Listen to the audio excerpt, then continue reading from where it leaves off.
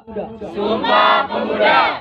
Kami putra dan putri Indonesia Kami putra dan putri Indonesia. mengaku bertumpah darah yang satu, Mengaku bertumpah darah yang satu. tanah air Indonesia. Tanah air Indonesia.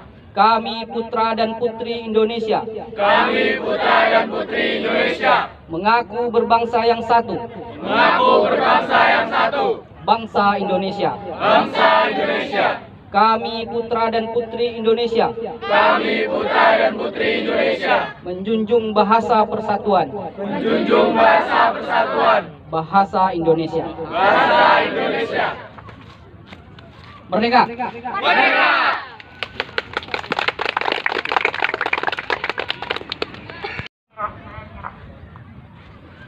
memasuki acara berikutnya yaitu sambutan-sambutan untuk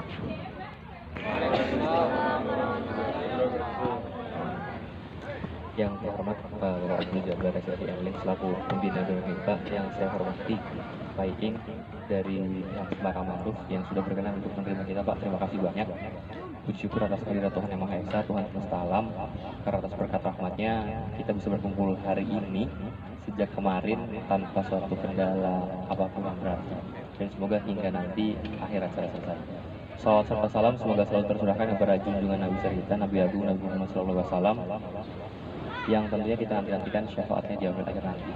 Mungkin nggak banyak sih, karena ini udah panas juga ya. Tapi masih sehat semoga. Eh, teman-teman udah ngelakuin tadi dari kemarin, udah pengakaraban, udah main-main, udah game, sudah bonding, udah bahkan sampai malam ya Pak mereka tidur nggak tahu jam berapa nih. Ada yang tidur jam 3, tidur jam 2 itu udah banyak banget. Sampai sambil lihat bintang bintangnya bagus ternyata di pantai.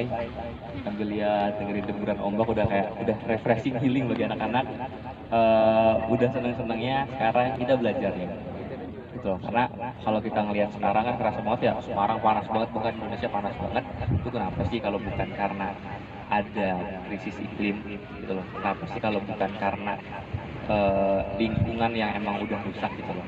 Nah itu sebenarnya peran kita ke depannya untuk memperbaiki ini. Sebenarnya mungkin bahkan istilahnya nggak bisa memperbaiki kerusakan lingkungan hanya menjeda kerusakan bagi orang-orang sekitar kalian. Seperti itu. Mungkin eh, cukup sekian kalau dari aku. Nanti pas kegiatan coba belajar itu apa pun itu tanyain kalian masih ada waktu kan masih maba ya satu bisa lah tiga tahun ke depan kalian terus rutin nanam bantuin kegiatan-kegiatan lingkungan dan sebagainya Oke, cukup sekian eh, akhirnya tahu assalamualaikum warahmatullahi wabarakatuh Waalaikumsalam warahmatullahi wabarakatuh. warahmatullahi wabarakatuh. Eh, Selamat pagi semuanya. Itu ora semangat ini. Masih semangat? Oke, untuk membangkitkan semangat kita karena kita berkegiatan untuk konservasi. eh, ada salam konservasi yang terbaru. Apabila kita- saya bilang salam konservasi, nanti kalian jawab bersama-sama, buha, buha, buha, tiga kali. Oke, kita tes dulu. Salam konservasi. Semangat dulu. kurang banter Masalah ini panas. Ya karena karena Kamu sarapan panas sekarang itu eh, tidak lain dari pemanasan global. Kita nanam mangrove paling eh, setahun itu paling sekitar 3 sampai 5 hektar kita tanam. Tapi kerusakan yang di atas kalian sendiri lihat di sekitar UNES berapa hektar yang diratain jadi perumahan. Nah, itu salah satunya. Sementara sini pelan-pelan nanem untuk setinggi itu itu sampai tujuh tahun. Nah, sementara yang ngeratain satu minggu selesai. Itulah eh, seperti yang disampaikan oleh eh, ketua BEM kalian bahwa Semarang ini eh, terancam terancam tenggelam juga terancam eh, pemanasan global Eh, karena apa karena daerah atas semakin bersih eh, hutannya semakin bersih hutannya semakin kurang resapannya jadi air begitu air hujan langsung turun ke bawah maka sering terjadi banjir dan kita lihat di daerah eh, apa namanya eh, Kaligawe itu penurunan setiap tahunnya 10 cm. Jadi 10 tahun mereka harus meninggikan rumah minimal 1 meter. Bayangkan eh, repotnya hidup di daerah pesisir. Makanya kita eh, sama-sama saya ucapkan terima kasih yang sebesar-besarnya atas nama pribadi maupun atas nama Semarang Mangrove eh, atas kerjasamanya. Semoga kerjasama kita eh, khususnya dengan BEM FNIPA itu bisa berkesinambungan. Jadi kalian tidak hanya menanam, cuman eh, sekali tempo ditengok, entah tiga orang, empat orang nggak apa-apa, tengok tanaman. Mungkin eh, ada yang mati bisa tambal sulam, bisa minta bibit ke kita. Nanti kita kasih misalnya tiga orang atau empat orang mipil 20 atau 30 bibit. Kan biasanya paling datangnya sore nggak mungkin kita kasih seribu itu saja. Eh, yang jelas saya ucapkan eh, sekali lagi terima kasih eh, buat BEM FMIPA eh, sudah eh, apa namanya eh, bekerja sama dengan kita. Dan tetap kita butuh kesinambungan dari anak-anak muda semua. Karena siapa lagi yang eh, bisa memperjuangkan eh, alam maupun memperjuangkan eh, segala sesuatunya kalau enggak dari anak-anak muda. Ya, saya kira sekian dulu dari saya. Eh, saya ucapkan terima kasih sekali lagi. Assalamualaikum warahmatullahi wabarakatuh.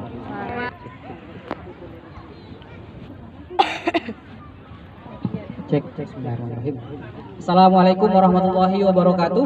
Waalaikumsalam warahmatullahi wabarakatuh. Salam konservasi. Uha, uha, uha.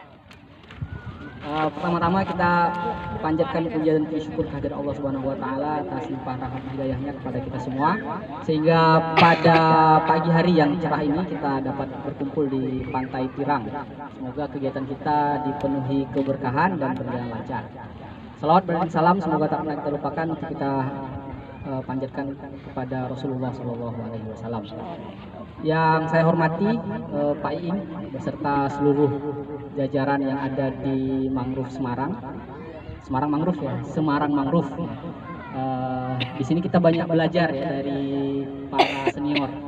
Beliau ini senior-senior kita di eh, bagaimana menjadi aktivis yang berkelanjutan, kira-kira gitu. Karena mereka ini, anak-anak ini itu baru di magang gitu istilahnya ya?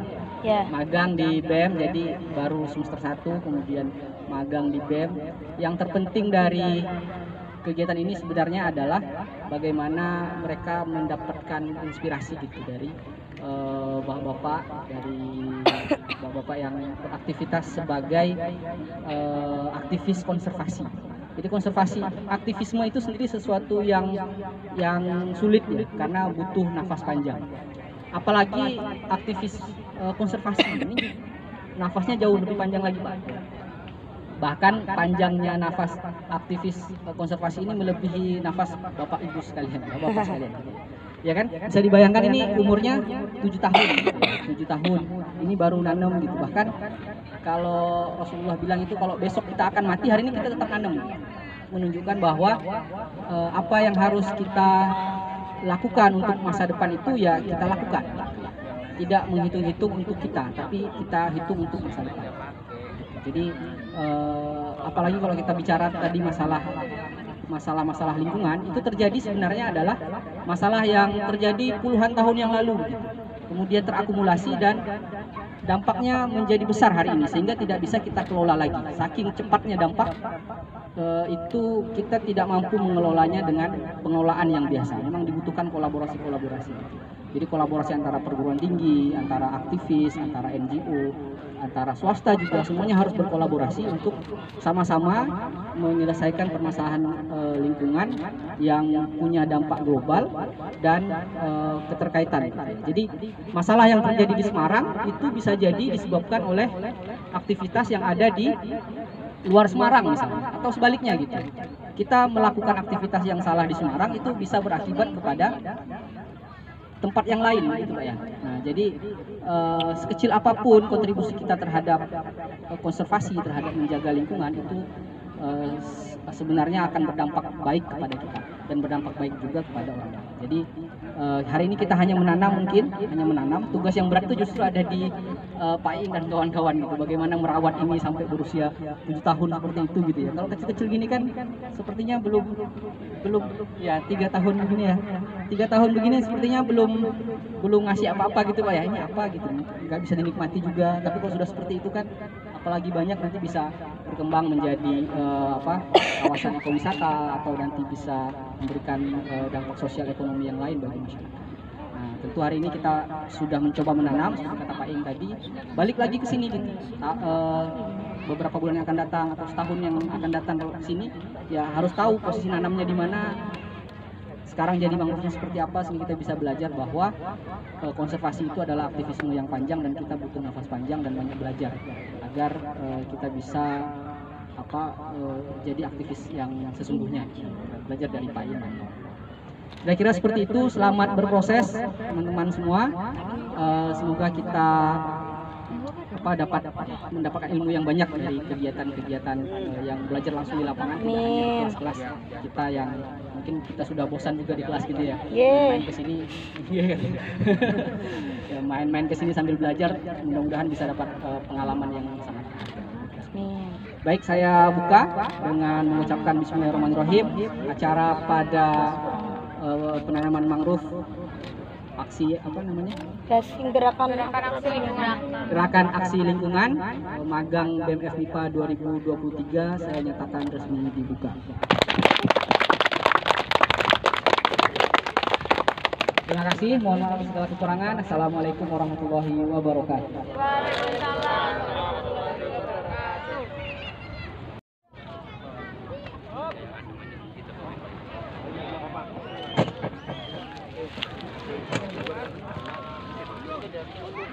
Tempat sosialisasi kita. Ayo bisa duduk ya. Campur aja nggak apa-apa. Yang penting nggak nggak berat kok. Suruh aja nanti. Enggak aku mau, aku pindah kok. Aku tinggal aku tinggal kok. Ayo segera menempatkan diri. Disconnected. Karena ini sudah hangat.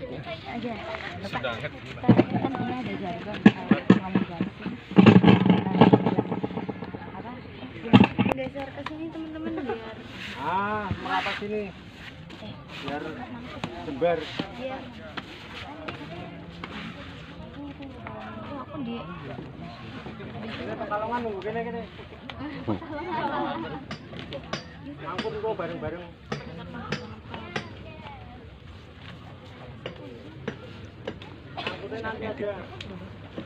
Kalian jalan. Saya dengar-dengar kemarin ada jagonya ya. Ya. Ke atas jagonya. Ya. Gasing dua tiga.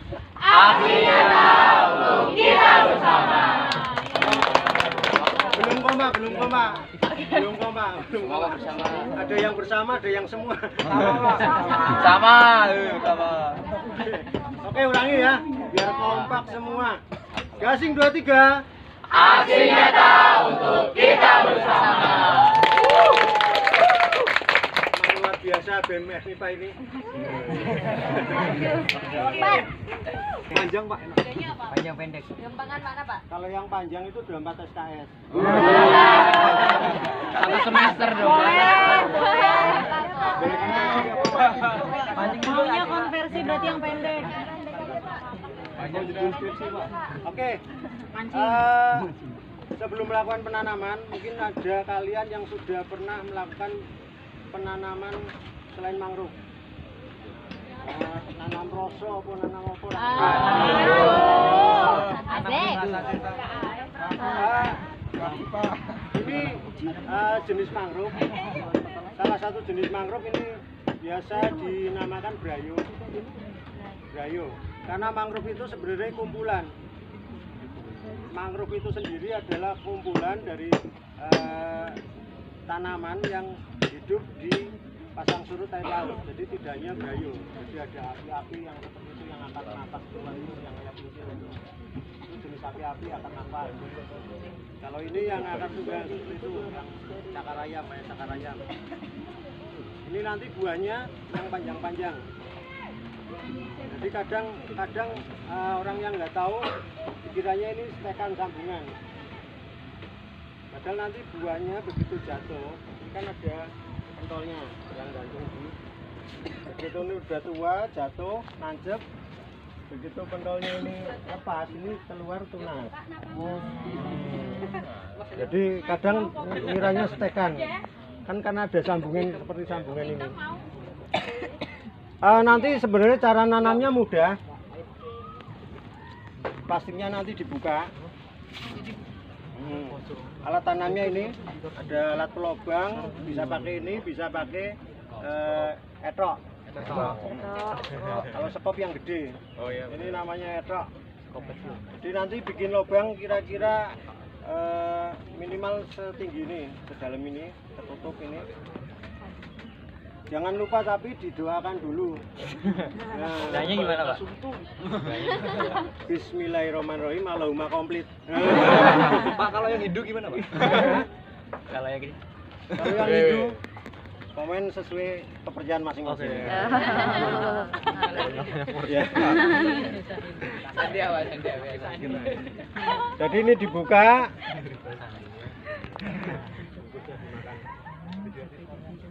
Ini ditanam sambil doain semoga eh, apa yang kita kerjakan panas-panas capek-capek itu punya manfaat eh, baik buat lingkungan maupun buat eh, kita sendiri maupun anak cucu kita. Karena begitu tanaman ini hidup, ini sudah mengeluarkan manfaat yaitu keluar oksigen karena pendukung oksigen termasuk pendukung oksigen yang terbesar itu dari tanaman mangrove itu mendukung 40% eh, kebutuhan oksigen di eh, dunia di alam. Dan kita prihatin karena hutan mangrove sekarang sudah tinggal eh, separone paling. Ini 2014 sudah mulai ada peningkatan sampai sekarang. Eh, sebelum itu udah hancur-hancuran karena banyak yang dimanfaatkan seperti yang kita lihat di kalau lewat Tanjung Mas ada dermaga peti kemas itu sebenarnya tidak boleh itu. Ya karena cuan. Yang aturannya jadi eh, hutan mangrove tak resapan. Jadi eh, peti kemas lah jadi macam-macam lah. Itu seperti itu. Banyak di Semarang ini jalur-jalur hijau yang disalahgunakan. Ya oleh oleh pejabatnya sendiri oknum sebenarnya. Bukan bukan ini bukan apa-apa bukan eh, ini oknum yang memanfaatkan, memanfaatkan eh, kekuasaannya. Makanya yang anak muda anak muda ini harus eh, benar-benar kekeh dengan eh, pemikirannya kekeh dengan eh, nalurinya. Misalnya kalian mulai dari awal masuk perguruan tinggi di UNES sudah mulai dikenalkan dengan alam maka kita akan belajar banyak dari alam seperti kita naik gunung eh, menyusuri kali masuk hutan itu juga kegiatan-kegiatan yang banyak manfaatnya untuk kehidupan kita. Tidak hanya cukup eh, nyari eh, spot foto buat eh, selfie buat stok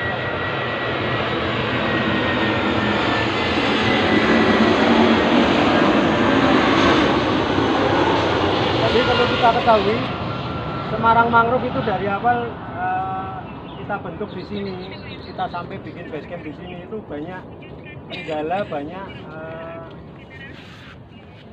bersinggungan dengan eh, pihak lain.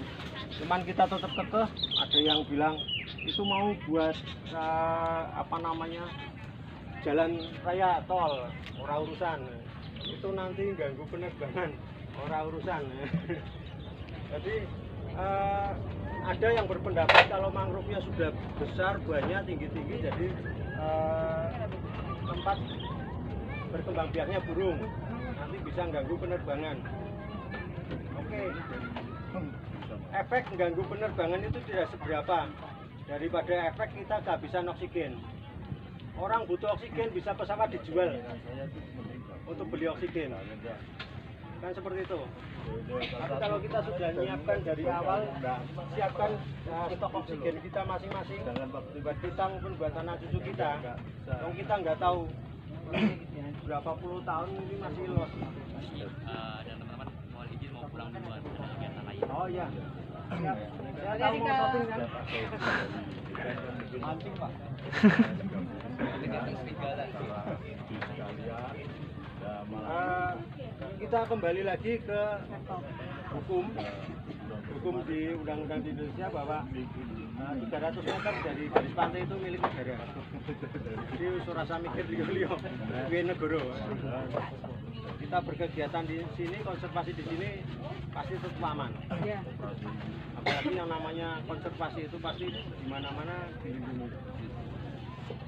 Apalagi Bu Menteri kemarin Menteri LHK juga sudah nanam di sini. Bu Siti Nurbaya.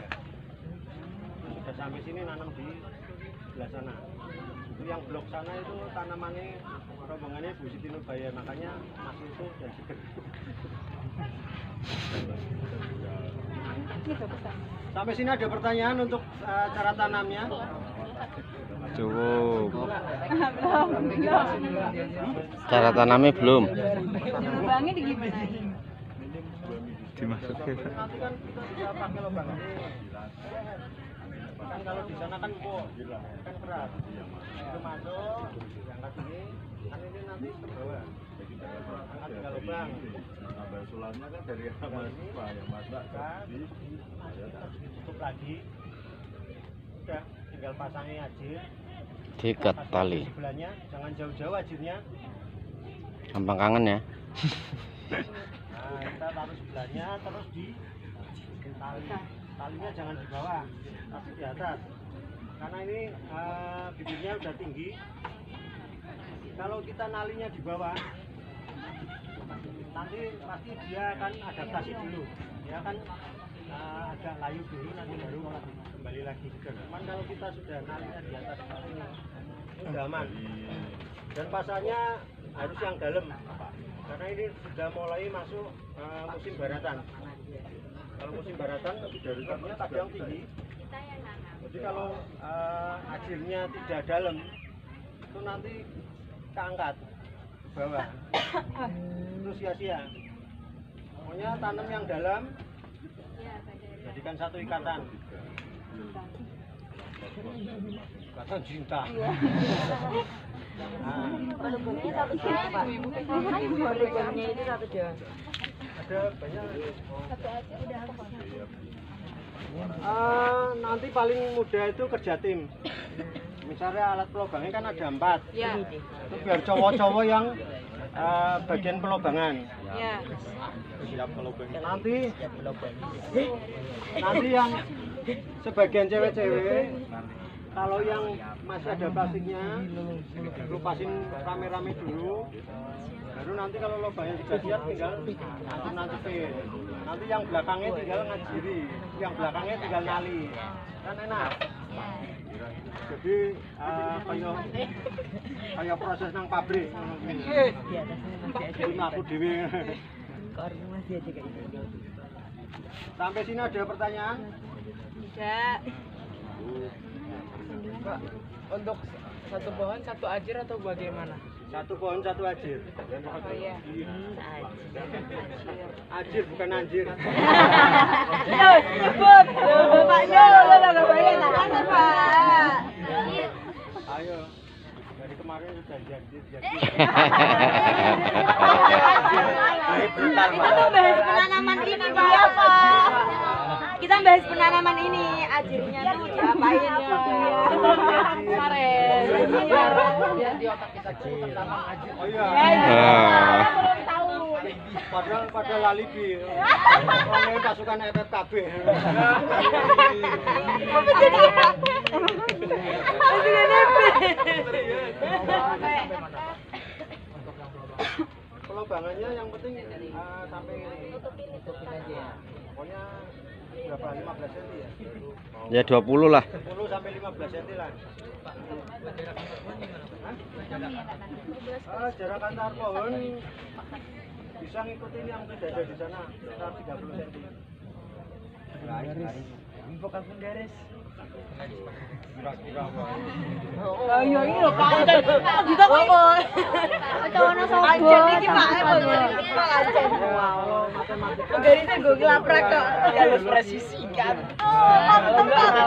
Ini. Salah. Ini gak ada laporan pendahuluannya Pak. kalau Pipa serem banget Cuksu. Lanjut lanjut. Rampung-rampung iki jurusan. Wong ngendi iki Pak. wes Wong sayur. Yo, gas. Gas ya Pak. udah Gas Pak. Gas Oke. Pak. Gas pak, gas pak. Udah gas Oke. untuk mulai gas kita jargon lagi apa mau Gasing dua tiga. gasing 23 Aksi nyata untuk kita bersama.